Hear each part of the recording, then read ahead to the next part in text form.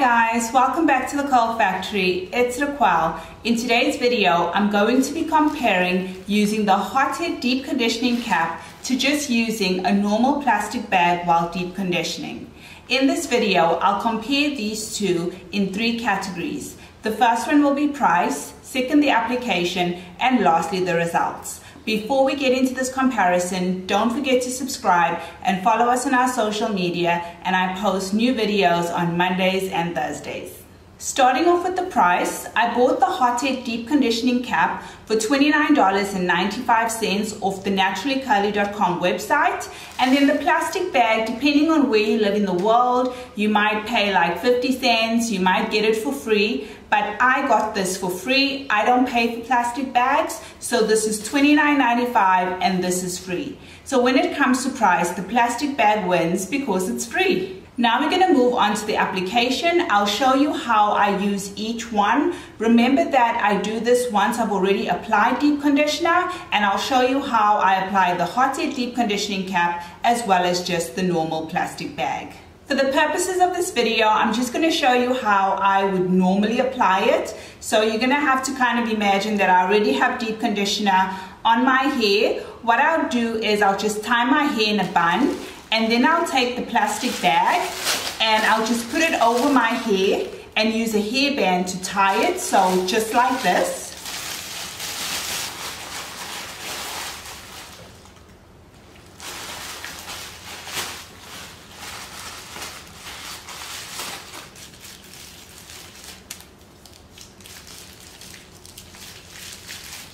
So this is how I will apply the plastic bag and this would be the application, tying my hair up in a bun and then putting the plastic bag on it and tying it in a bun. When I deep condition like this, I will deep condition for an hour. When it comes to the application of the deep conditioning cap, there are a lot more steps. The first step will be to tie your hair up and apply the plastic bag.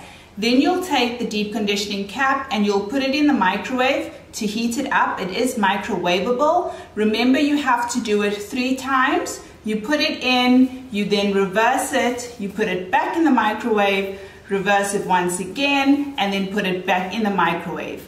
After that, you'll then put it on your head with the plastic bag.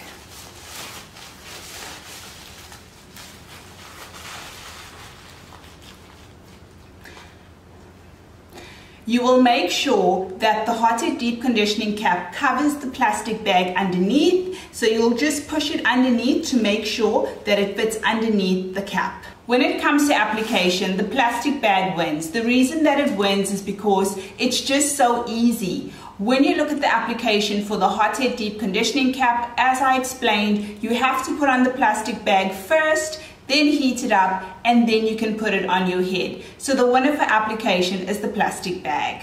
When it comes to results, they both do exactly the same thing. I think the winner, when it comes to the two, are both the plastic bag as well as the Hothead deep conditioning cap. The results that I get is usually exactly the same.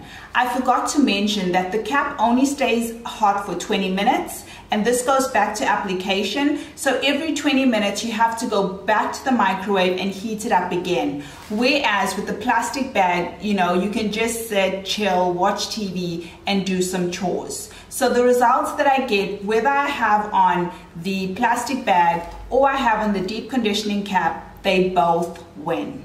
And that's it guys, this is the end of the comparison video.